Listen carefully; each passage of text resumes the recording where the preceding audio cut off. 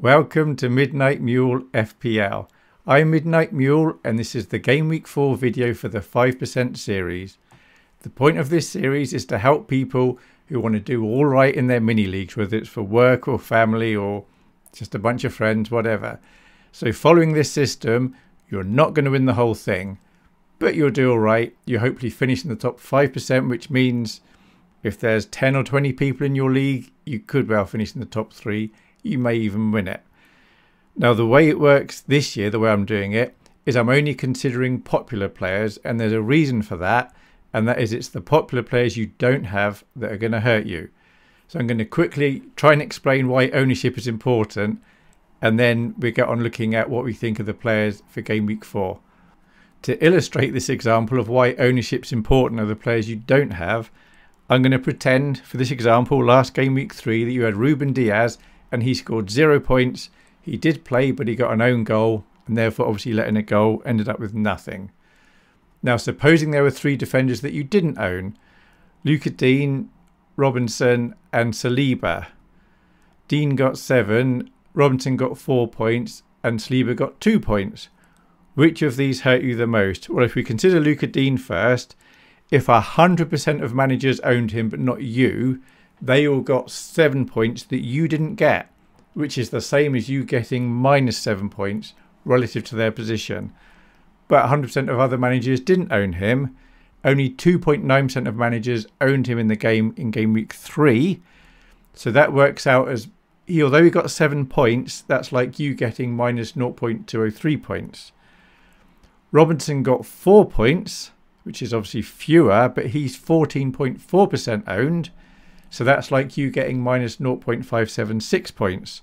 Saliba only got two points, but he was massively 39.9% owned. So he's actually minus 0.798 points against you. So for these three defenders, if you don't have any of these defenders, then last week Saliba, who only got two points, hurt your rank a lot more than Luca Digne, for example, who got seven points the ownership of the players you have doesn't matter at all. If you've got a player who's 1% owned or 100% owned and got six points, it's worth six points, doesn't matter. What matters is the ownership of the players that you don't own. So if you're trying to decide between two or three players and in your mind you think they're going to get similar points over the next few weeks, absolutely go for the higher owned players. Because if you get it wrong, that's the player that's going to hurt you the most. That's my logic anyway. Hopefully that made sense. And now we're going to look at the scores for game week three of the players in the system and what I think of them for game week four. There was only one clean sheet in game week three, and that was for Liverpool. Starting with the goalkeepers, we had Becker, got eight points. Apart from that, Henderson four. The other keepers didn't get anything. For the expensive defenders, Trent got six, Virgil van Dijk five, the rest got nothing. For the cheaper defenders, Robinson four, the rest nothing. For the expensive midfielders, we had Salah on 17, Saka 6, Palmer 6, Son 3, the rest nothing. For the mid-price midfielders, Eze 10, Bowen 5, Jota 3, the rest nothing. For the cheapest midfielders, they got nothing, basically. For the expensive forwards, Haaland 17, Isak 9, Havertz 8, Watkins 5. For the cheaper forwards, Wood 9, Pedro 8, and that's all. So that's what they got in game week three. This is my thoughts for game week four. Looking at the goalkeepers, Raya is a good player. I'm saying he's good soon. So this week he's away to Spurs, but Arsenal have got Rice, who's a defensive midfielder, suspended. So that means the chance of them conceding goals has gone up slightly. Also, looks like Odegaard's going to be out injured for a few weeks, which means their attacking potential has gone down a little bit, which means, again, they're going to be slightly easier to score against. We may be talking margins here, but it all counts. If you have Raya, he's brilliant. Absolutely keep him. If you're wildcarding this week, it's absolutely fine to get Raya in. He's very good. And in a couple of game weeks' time, he could then get a whole string of clean sheets. It's not worth doing a keeper transfer this week to get in Raya, though, unless you're wildcarding. Becker is a good player, and he's a good player now. Home to Forest, home to Bournemouth, very good um, games coming up. If you've got Raya, absolutely don't swap him for Becker, even though they're the same price. That'd be my recommendation. The only reason you might want to do that is if you think Raya is going to go down in value. You could hop onto Becker, but it effectively costs you a transfer. And then in two weeks, hop back. Raya's gone down to 5.4. You've saved 0.1 million. That's probably not worth the effective eight points of the transfer, though. Apart from that, Martinez got a couple of easy fixtures. He's all right. Pickford. So Everton are woeful at the moment regarding defence. They're letting in a lot of goals, but Branthwaite, who's a defender, is expected to be back maybe at the end of this month or beginning of next month. So if you've got Pickford, it's fine to keep him. If you're wildcarding, probably best not to get Pickford. But Pickford and Everton should come good in a few weeks' time. Henderson's all right. He's popular. Areola, he got injured, went off at half time, but he may be playing this weekend. Flekken, all right. Ward, that could be any 4 million bench fodder keeper who's not going to play. So you either go for Raya or Becker, reasonable chance of a good sheet. Martinez less likely, but still could. Pickford you can keep, or if you start looking at four and a half million keepers, you'll sometimes get a clean sheet, maybe between seven and ten during the season. Now, some content creators get a couple of playing goalkeepers and keep switching them around. Personally, I don't like doing that. I'd rather have a keeper, and that's the keeper I'm playing, and there's somebody on the bench but it is valid to switch it. It's just for myself. I find it's too easy to not get the points when I do that, i.e., I pick the wrong keeper. For the expensive defenders, Trent's very good. Nice fixtures coming up. He's got some good attacking potential. He's a good player. So for the Arsenal defenders, they are all good players. If you've got them, they're absolutely fine to keep. They're fine to play. If you've not got them, there's no need to rush and bring them in until maybe game week six when their fixtures turn if you're wildcarding, it's okay to get one or two in if you wanted to. Gvardiol looks like he may start to be a bit more attacking. As far as we know, he's nailed for minutes, which is good, which means if Man City get a clean sheet, he should be getting the six points. It'd be interesting to see is he going to start attacking or not. If you've got him, he's fine to hold. There's no need to get him in though, but he's all right. Virgil van Dijk's good. Not as much attacking return as Trent. Trent could score in any goals, gets lots of chances. Virgil van Dijk really only gets a chance when he goes up for a corner.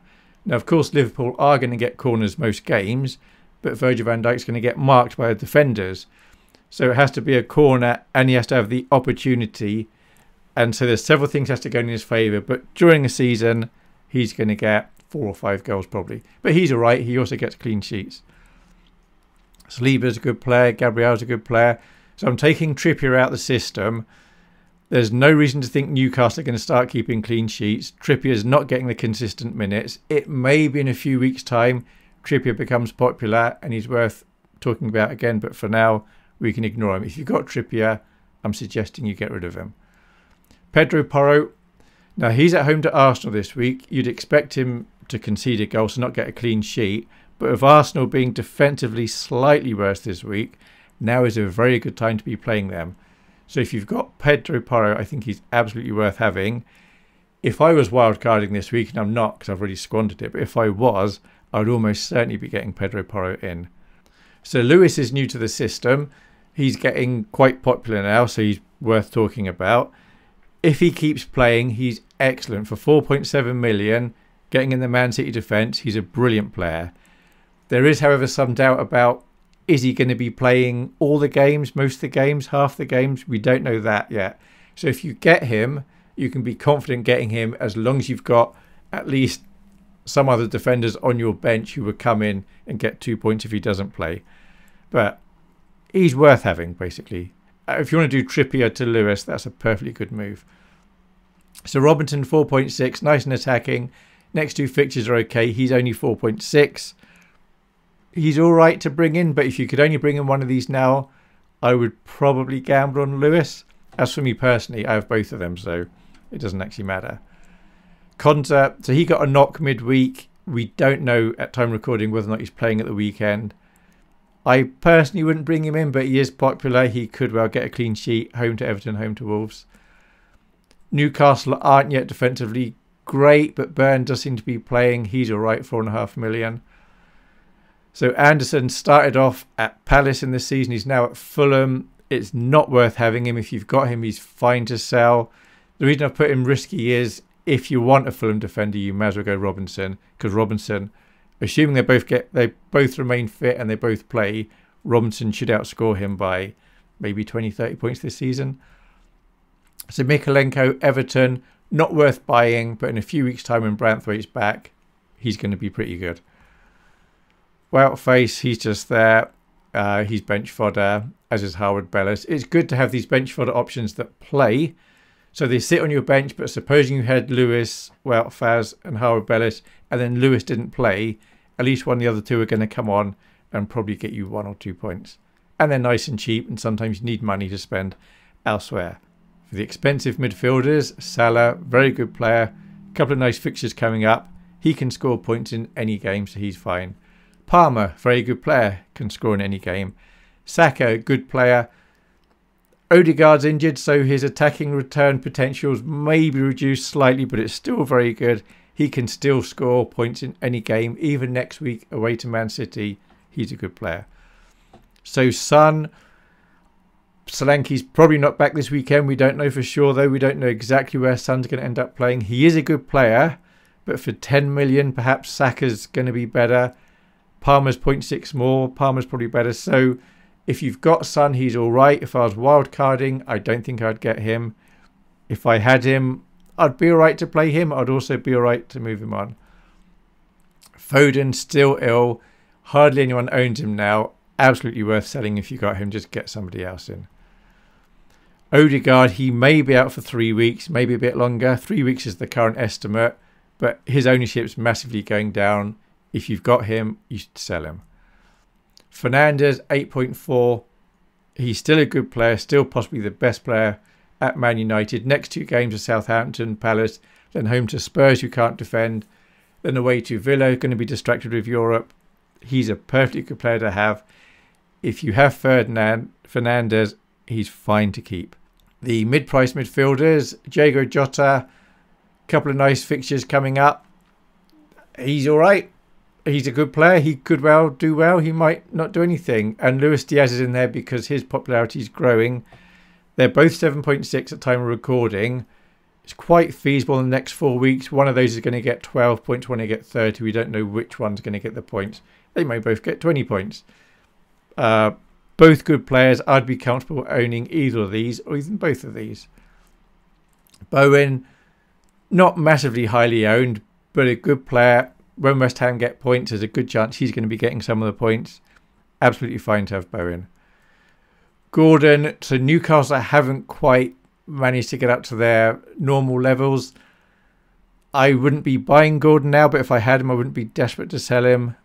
Uh, yeah, I wouldn't be buying him though, not on a wild card even. But he's an all right player. So we're introducing Mbeumo because he's gaining in popularity. Away to Man City this week, not great. Away to Tottenham, chance returns there. But after that, Brentford have very nice fixtures. So if you're wildcarding this week, it's worth thinking in bring, bringing Mbeumo in. If you had Foden or Odegaard, you may want to bring him in this week just in case he goes up more in value. There's always a risk he's going to get injured, of course. But Mbeumo in, let's say, two weeks' time is going to be highly owned. And if you don't have him, he could really punish your points and your rank as a gone down 6.9, but he's a very good player. For the cheapest midfielders, Garnacho, okay, United have been rubbish. Garnacho's not been starting. Eventually he will be. He's one of their better players. He's only 6.4. I wouldn't go buying him now, but if you've got him, you don't have to be desperate to get rid of him. And Nkunku is definitely worth getting rid of, and he's not worth buying. Smith Rowe, I wouldn't be buying him now, but if you've got him, he's absolutely fine. Certainly for the next couple of weeks. After that, we can reassess. But he's still quite popular. So if you don't have Smith Rowe, and then he scores 10 points this week, which is feasible, that's going to hurt your rank a bit. Semenyo, not massively highly owned, but he is getting bought by a lot of managers. He is probably the player at Bournemouth that's going to be the main talisman and get the most points.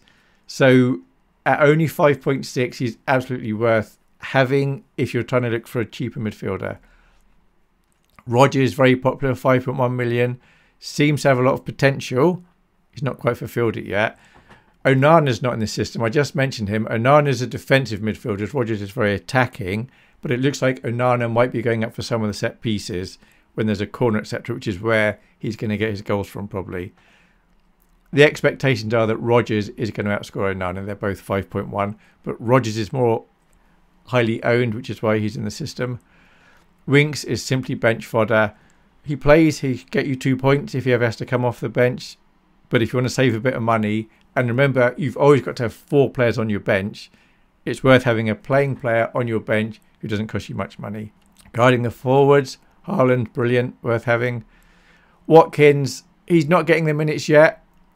He should be on paper a brilliant buy just now. Some beautiful fixtures coming up, but we don't know what his fitness levels are. We don't know for sure that he's playing this weekend, but he probably is. If you've got Watkins, I would suggest you absolutely keep him. He's definitely worth having. I probably wouldn't be bringing him in now on a wild card. I definitely wouldn't just be doing a straightforward transfer for him. Isak's worth having, still very highly owned. He's going to really hurt your rank if you don't have him, and he does well. So Havertz, he's going to be good soon, again, because the players they're missing. Tottenham, Man City, he might get something in those games, but after that, from game week six, he's going to be very, very good. If you've got him, I highly recommend you keep hold of him. If you're wildcarding, you may want to get him. I wouldn't be doing a transfer to bring him in this week, though, if it's just a plain transfer. And Solanke, although he's injured, he should be back soon. And when he is in for 7.5 million, he's probably going to be a very good player. And I suspect a lot of managers will have him.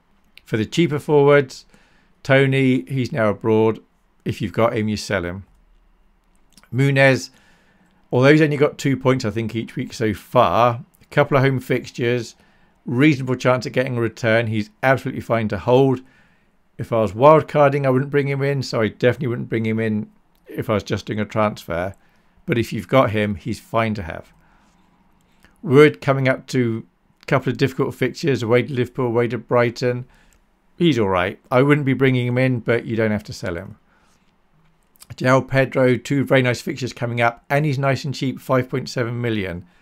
So he's, if you're wildcarding, he's right to have if I had Toney, I'd happily move to João Pedro even for a couple of weeks and then reassess the situation then. João Pedro is a good player.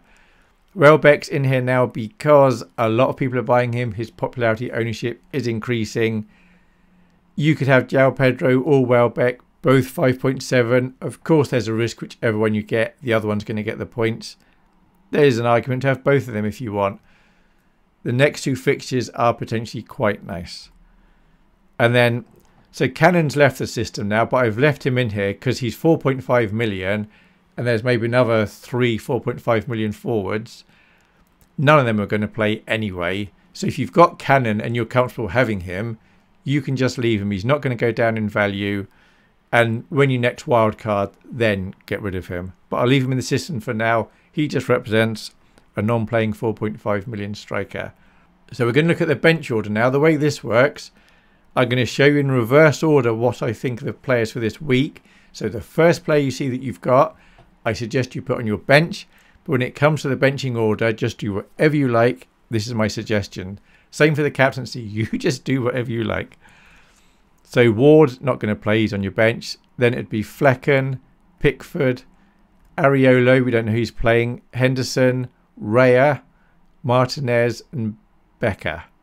So the first goalkeeper you saw that I showed you is the one I suggest you put on your bench, assuming you're, you've only got players from this system.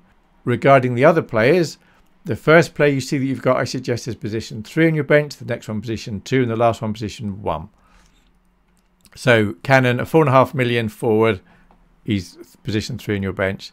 Then Harwood Bellis, Andersen of Fulham, Mykolenko, Wout Faes, Winks, Burn, Wood, Nkunku, Mbeumo, Konsa, Robinson, Semenyo, Solanke, Garnacho, Saliba, Gabriel White.